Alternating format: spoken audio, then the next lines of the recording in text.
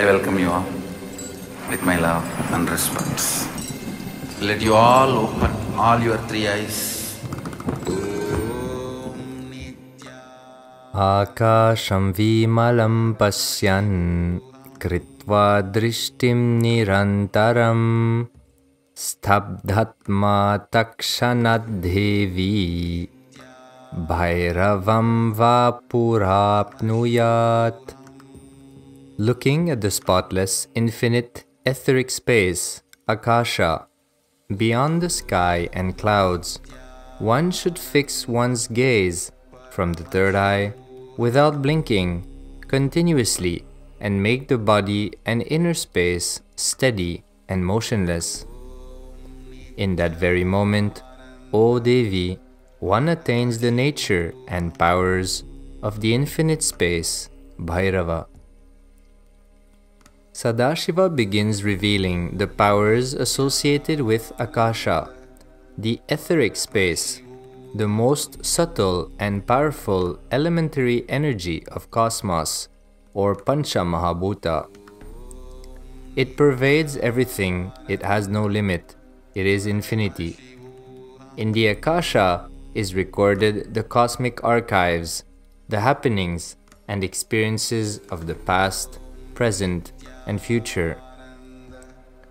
The oneness with Akasha energy, who is Sadashiva, as Kalabhairava, the Lord of time and space, reveals to the person the direct vision and revelations from the cosmic archives.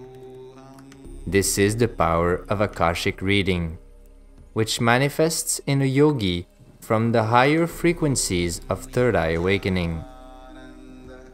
His Divine Holiness Bhagwan Sri Nithyananda Paramashivam, as the energy of Kalbhairava not only reveals the Akashic records, he can change the past and rewrite the future for a person as a blessing.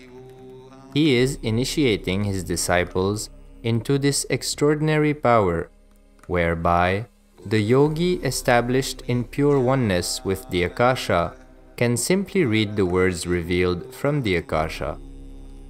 Akasha is pure consciousness, the cosmic canvas on which the ink of time imprints every thought, incident, happening, and records it in all dimensions of length, verbalization, breadth, visualization, depth, cognition, and time and space. By entangling in oneness with Bhagwan Sri Nithyananda Paramashivam, Shaktipada, the yogi's third eye, which is Kalabhairava's third eye, reveals the golden letters, the revelations about anything inquired. Akasham vimalam pasyan. Look at the etheric space, Akasha, beyond the sky and clouds. One must look at the reality as it is into the Akasha the sky and clouds is the perceived reality. It is the normal vision with the two eyes of form and shapes.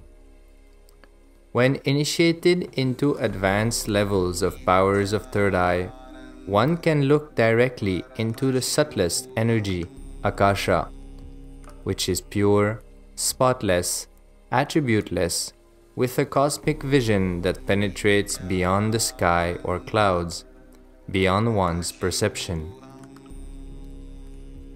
Kritva drishtim nirantaram. One should fix one's gaze from the third eye without blinking continuously. Stabdhatma takshanad. By doing so, at once make one's body and inner space steady and motionless. Bhairavam Vapurapnuyat. In that very moment, one attains the nature and powers of the infinite space, Bhairava. This manifests the primordial power of Kalabhairava, the power to access the Akashic readings.